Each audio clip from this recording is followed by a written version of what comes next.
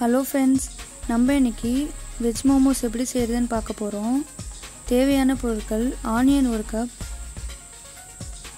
கோஸ் ஒரு கப் பூண்டு ஒரு கப் எடுத்துக்கோங்க. கேரட் ஒரு கப் எடுத்துக்கோங்க. குடமிளகா ஒரு கப் எடுத்துக்கோங்க. உப்பு தேவையான அளவு எடுத்துக்கணும் மைதா மாவு ஒன்றரை கப் நான் எடுத்திருக்கேன். இப்போது மைதா மாவும் நம்ம பூரி மாவு பிசைகிற மாதிரி நல்லா பிசைஞ்சு எடுத்துக்கலாம் உப்பு தேவையான அளவு போட்டுக்கோங்க. நல்லா மிக்ஸ் பண்ணிக்கோங்க. இப்போது ஆயில் லைட்டாக விட்டு மிக்ஸ் பண்ணிக்கோங்க.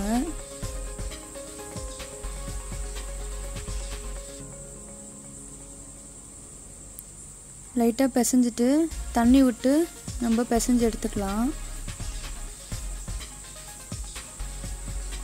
பாருங்கள் நான் நல்லா பிசைஞ்சு எடுத்துட்டேன். லைட்டாக மேலே ஆய் ஆயில் அப்ளை பண்ணுறேன்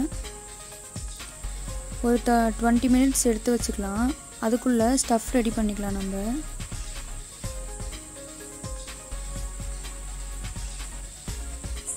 கடாயில் எண்ணெய் விட்டு எண்ணெய் சூடாகிற வரைக்கும் வெயிட் பண்ணலாம்.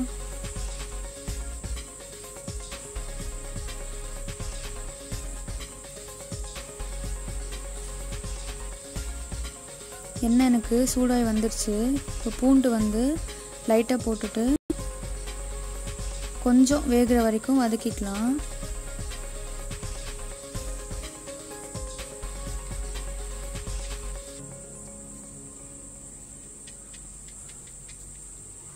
நெக்ஸ்ட்டு ஆனியன் போட்டு வதக்கிக்கலாம்.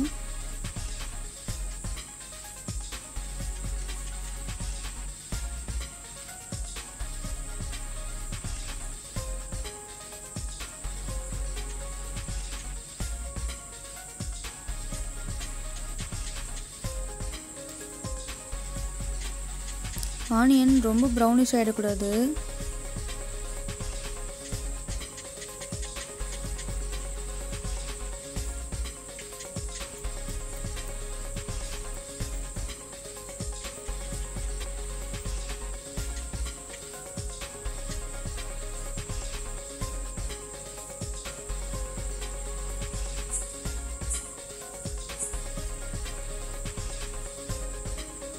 பாருங்கள் எனக்கு லைட்டாக வதங்கி வந்துருச்சு.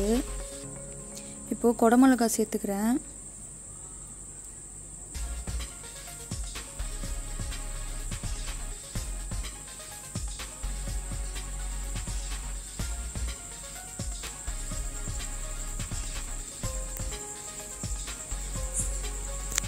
இப்போது கேரட் ஆட் பண்ணுறேன் கோஸும் ஆட் பண்ணிக்கிறேன். ஓரளவுக்கு ஃபுல்லாக குக் ஆகாமல் ஹாஃப் குக்கில் எடுத்துடணும்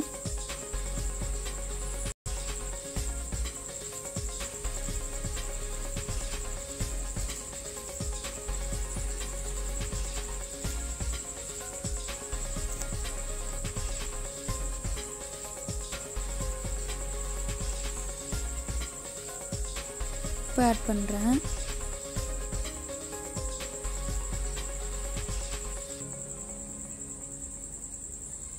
நல்லா உப்பு மிக்ஸ் ஆகிற மாதிரி கிளறி விட்டுக்கோங்க.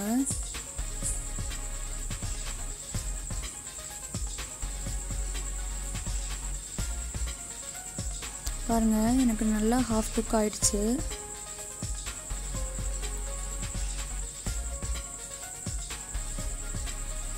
நம்ம சாஸ்லாம் எதுவும் ஊற்ற போகிறதில்ல நிறைய பேர் சோயா சாஸ்லாம் ஆட் பண்ணுவாங்க. அதெல்லாம் நம்ம ஆட் பண்ண போகிறதில்ல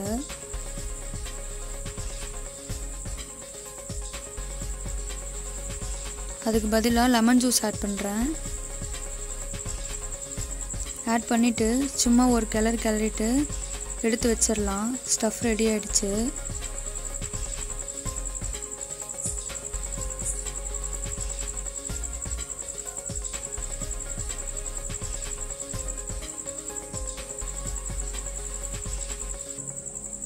இப்போது மாவை உருட்டி நல்லா உருண்டையாக தேய்ச்சிக்கணும்.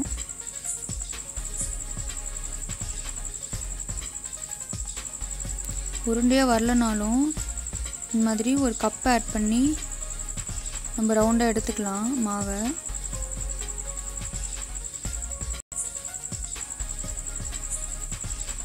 பாருங்கள் இப்போ நான் ஸ்டஃப் ஆட் பண்ணுறேன்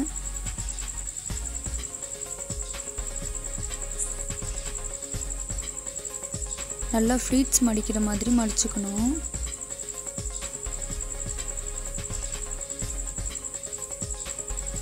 பாருங்கள் நல்லா ஃப்ளீட்ஸ் மடிக்கிற மாதிரி. மடிப்பு நல்லா வரணும். அந்த மாதிரி மடித்து எடுத்துக்கோங்க.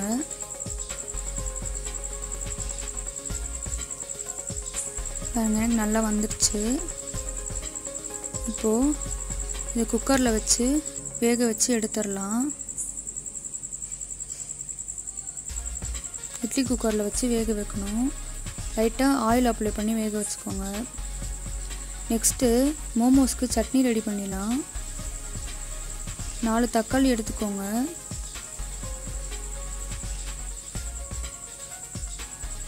மூணு காஞ்ச மிளகாய் எடுத்திருக்கேன். சுடு தண்ணியில் நல்லா வேக வச்சு எடுத்துருங்க. பாருங்கள் இது மாதிரி எனக்கு நல்ல வெடிப்பு வரணும். வந்ததும் தோலை தக்காளி தோல் உரிச்சிட்டு தக்காளி பச்சை மிளகா சாரி காஞ்ச மிளகாவை நல்லா இது பண்ணிக்கலாம்.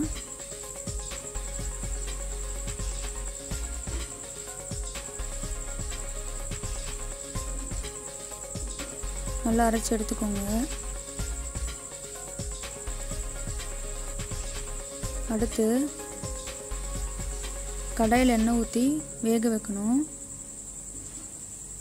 லைட்டாக எதுவானதும் பூண்டு போட்டு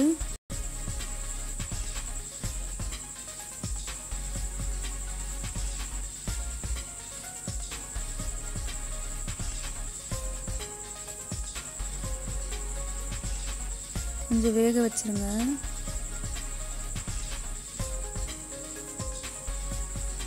பூண்டோட பச்சை வாசனை போ போகிற வரைக்கும் வேக வச்சு எடுத்துக்கோங்க.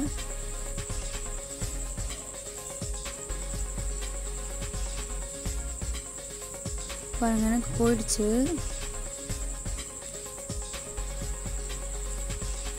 இப்போது நம்ம அரைச்சி எடுத்த அந்த தக்காளி ஜூஸை இதில் கலந்து நல்லா மிக்ஸ் பண்ணி விட்டுறணும்.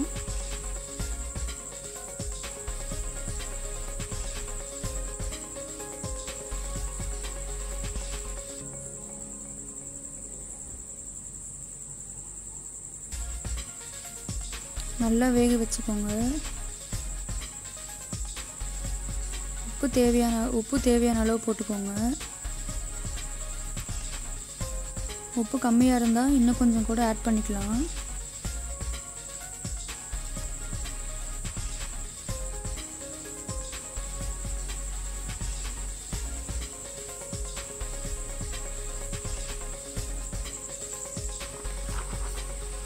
நல்லா பச்சை வாசனை போகிற வரைக்கும் நல்லா கிளறிட்டே இருங்க.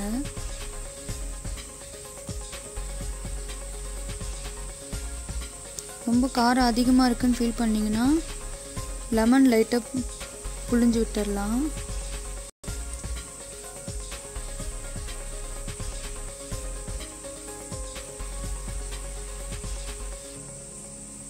பாருங்கள் நான் லெமன் ஜூஸ் ஆட் பண்ணிக்கிறேன். லெமன் ஜூஸ் ஆட் பண்ணதும் ஒரு கிளறி கிளறி எடுத்து வச்சிடலாம் எனக்கு மோமோஸ் நல்லா வந்துருச்சு. டேஸ்ட் பண்ணி பார்க்கலாம் எப்படி இருக்குன்னு. டேஸ்ட்டும் நல்லா இருக்குது ஸ்டஃப்பும் நல்லா உள்ளே செட் ஆகிடுச்சு நீங்களும் வீட்டில் ட்ரை பண்ணி பாருங்கள் லைக் பண்ணுங்கள் சப்ஸ்கிரைப் பண்ணுங்கள் தேங்க்ஸ் ஃபார் வாட்சிங்